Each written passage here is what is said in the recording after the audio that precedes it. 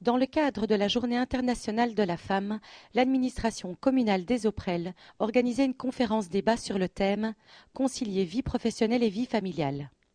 Le service animation médiation de la commune des Auprelles sous les chevelinats de mademoiselle euh, Oslem Ozem euh, a organisé une matinée de réflexion. En fait, on voulait vraiment que cette activité soit conviviale.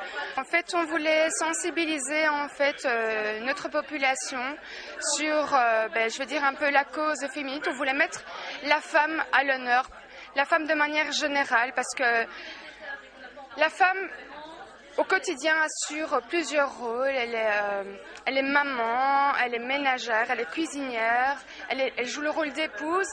Et on voulait attirer un peu l'attention sur tout ça, dire que la femme, euh, de manière générale, eh ben, elle revête, euh, elle revête plusieurs costumes.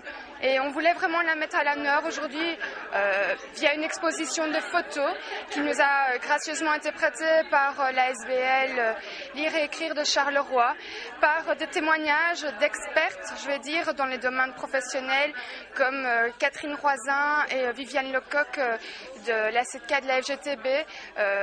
On par également Viviane, Marina Massard, des femmes prévoyantes socialistes euh, ces femmes qui luttent au quotidien en fait euh, euh, pour améliorer les conditions de la femme, la cause de la femme. Il suffit d'être immigré et de porter en plus le voile, pourtant on fait du nettoyage.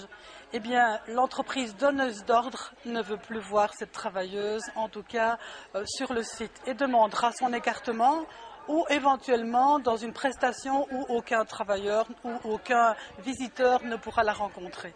Et ça, je trouve ça un peu euh, scandaleux parce que ça ne remet en, cause pas son travail, parce que fondamentalement, son travail, elle le fera aussi. Mais ces entreprises-là, malheureusement, on ne pourra jamais les, les attaquer, en tout cas pour discrimination, puisque jamais elles ne vont l'écrire. Et malheureusement, c'est effectivement encore d'actualité.